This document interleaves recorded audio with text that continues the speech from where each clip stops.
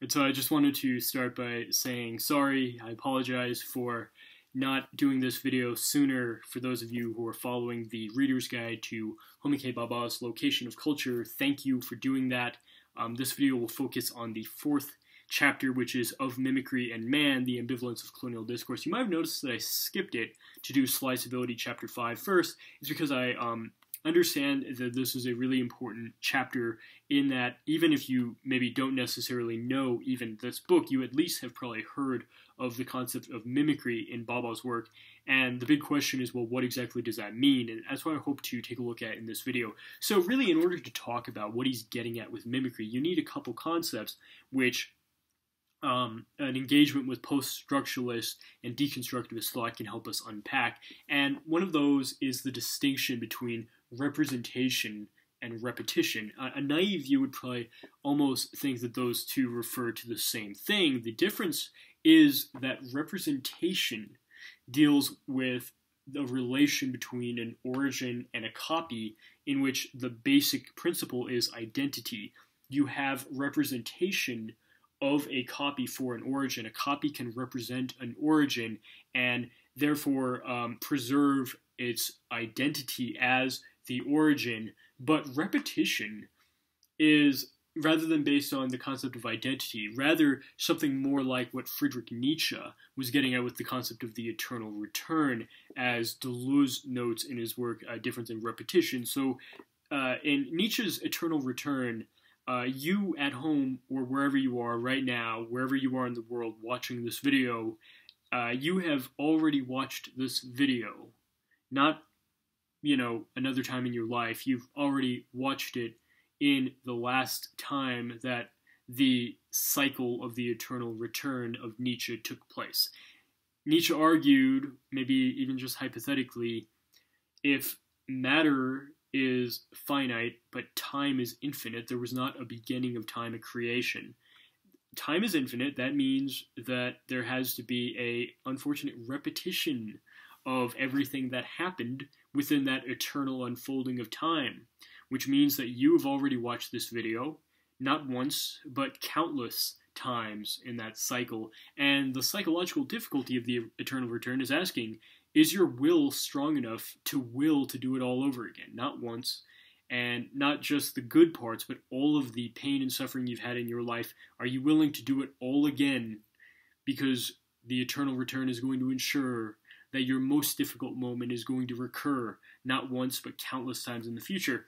And the idea here is that the eternal return is not the re- uh, representation of an origin. It is rather the repetition that is characterized by difference rather than identity. It's repeating, but it's repeating with a difference, and it's repeating without an origin. And that's what Homi K. Bhabha's argument about um, mimicry is largely going to, to uh, re- rely on a metaphysics of difference and repetition rather than a metaphysics of an origin, copy, and identity. So he really opens up by talking about Edward Said's notion that the uh, tendencies and desires of imperialism have two contradictory goals. On the one hand, there's the desire for panoptical domination, and that is the desire for the um, limits of the empire to continually expand and actually encompass everything, but also to satisfy, at the level of the gaze, the desire for um, an image of the empire that provides the identity of the empire through the stasis of an image as a type of snapshot that shows you, you know, offers up epistemologically the image of the empire as something that doesn't change, right? Something for which control of it has been solidified. But at the same time, the imperial desire is for the diachronic unfolding of history as a type of change to take place, the historical shift of progress, the idea that you're moving from the primitivity of the past towards progress in terms of both you know gaining more and more territory as time progresses for the empire but also going up in notions of political um, superiority in terms of the nation is supposed to also be advancing towards a more just society, as contradictory, of course, as that desire actually is in terms of the just nation at home conducting imperial business overseas. But the contradiction between both wanting the stasis of panoptical domination um, of, of an image of the empire, but also the unfolding of history, which necessarily entails change, is met with by the compromise that mimicry provides,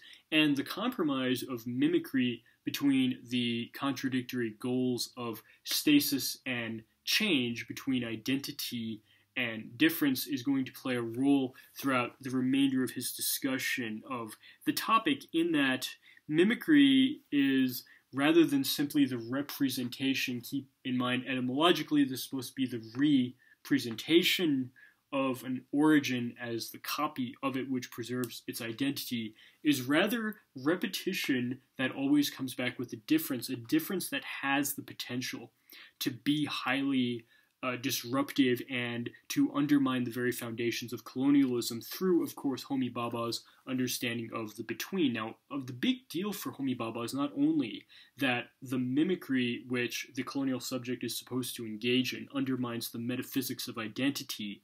Uh, that is, of course, a very um, important component. It's also the intersubject, the intersubjectivity and performative in betweenness as the context of mimicry is something which is going to undermine also the colonizer's position. So, to put it very briefly, mimicry is the idea that one of the um, regulatory principles of the actual functioning of colonialism is that colonialism requires subjects of colonialism, that is, the colonized subjects, to adopt a code of behaviors that makes them anglicized, for example, but still retains that ontological difference from the colonizer there to be anglicized without being English. There is supposed to be that difference at the very level of being that makes them something other than us, and that, of course, is to ensure the political project that the functioning of empire, as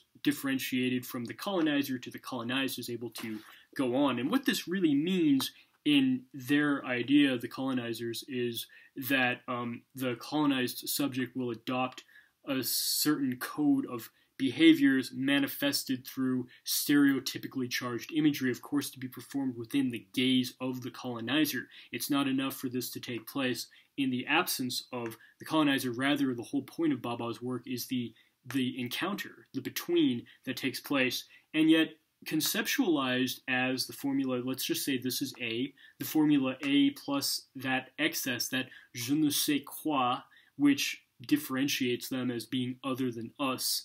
What actually happens is rather than representing um, the identity uh, that it's supposed to, it instead engages in a difference, a repetition of a difference rather than a representation which calls into question the colonial gaze within the very medium in which the gaze was supposed to solidify control decisively once and for all for the colonizer, turning stereotypical imagery which was meant to degrade the colonized, turning using that imagery as a repetition with difference to undermine the very colonial relation itself. And therefore, the very concept of providing a metaphorical substitution of presence for presence cannot uh, up, uh, cannot hold up within this context. Instead, there's a notion of metonymy. Metonymy in poetry, of course, is not that which substitutes, but rather that which um, carries over a lack from one link of the chain to the next. So if you look at the text, he talks about um, there's a type of excess or slippage produced by the ambivalence of mimicry, the requirement that the colonized subject be almost the same that not uh, but not quite, and it does not merely rupture the discourse, but becomes transformed into an uncertainty which fixes the colonial subject as itself a partial presence. This is the idea that the um, metaphysical commitment to the model of representation is that the origin is characterized as a presence. This is work of Jacques Derrida, I've talked about in other videos, and the idea that the colonizer, at the very least, is enjoying the full presence of the identity of which this is merely a bad copy with an excess, shows that in mimicry, the very presence of the colonizer is also called into question rather than being characterized by full presence. It becomes something of a partial presence. Mimicry, therefore, is at once a a resemblance, right, troublingly so, but also a menace. It not only resembles his identity, but calls into question his very identity as the colonizer. And therefore, the desire for um, a clear, you know, um, substitution of one for the other, but of course with the ontological distinction from me as being an other, is disrupted by the fact that mimicry really emerges as a type of writing. Of course, Jacques Derrida's notion that writing is not merely a bad copy of presence, but is a concept which calls into question the very notion of presence. If writing is that which is neither absent nor present, maybe everything is actually a type of writing. At the very least, the um, the practice of mimicry is going to fall into being a type of writing as a type of repetition and difference rather than a, merely a bad copy of the colonizer's presence, and therefore um, it's going to always be the repetition of partial presences, disruptions of the very notion of presence and origin, and instead the visibility of mimicry as something which is offered up to the colonizer's gaze, but paradoxically disrupts it within that very medium, is going to lead him to talk about mimicry as a type of destruction of the narcissistic authority through a repetitious slippage of difference and a process of fixation of the colonial as a form of class, uh, cross classificatory and discriminatory knowledge within an interdictory